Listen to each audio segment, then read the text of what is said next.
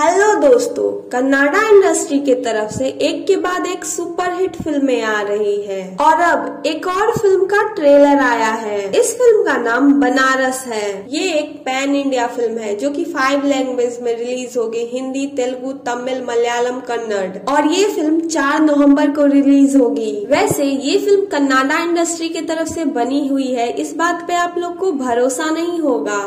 क्योंकि इसके ज़्यादातर सीन बनारस में शूट किए गए हैं। और वो चीज़ ट्रेलर देख के पता चलता भी है। जहाँ पे गंगा घाट, गंगा आरती, शमशान घाट, साधु संत और पूजा पाठ सब कुछ दिखाया गया है। और तो और, इस फ़िल्म में आप लोग को बनारस के बारह घाट भी देखने को मिलेंगे। वेलकम टू बनारस ये एक मिस्टीरियस लव स्टोरी वाली फ़िल्म है, जिसका अभी सिर्फ़ ट्रेलर आया है। और ट्रेलर भी ऐसा, जिसे देख के आपका दिमाग पूरा घूम जाएगा कि कब क्या हो रहा है, कहाँ हो रहा है, क्यों हो रहा है और किसी भी चीज़ का जवाब नहीं मिलेगा। वैसे तो ट्रेलर होना भी बिल्कुल ऐसा ही चाहिए। तो ट्रेलर में दिखाया गया है कि एक सिड नाम का बंदा है जो कि एस्ट्रोनॉट है। और वो टाइम ट्रेवल करके बनारस पहुँच जाता है। और जब वो बनारस पहुँचता है तो धूम फोर बन गई रहती है। और बनारस पहुँचने पे वो अपनी बीबी से भी मिलता है, जिसे वो बताता है कि ये उसका फ्यूचर हस्बैंड है। और उस लड़की को इससे इस फ़िल्म के ट्रेलर के स्टार्टिंग से ही प्यार रहता है। तो अब फ़िल्म की कहानी किस टाइम से शुरू होके किस टाइम पे और किस तरीके से खत्म होती है, ये तो फ़िल्म में ही पता चलेगी। पता है, मैं टीवी में भी एक्शन फिल्म्स नहीं देखता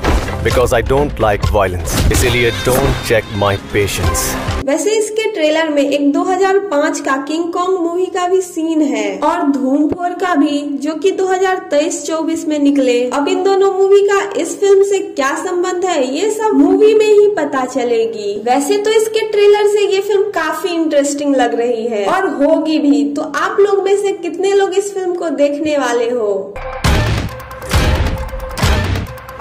इस जाल से मैं कैसे निकलूं पीटर?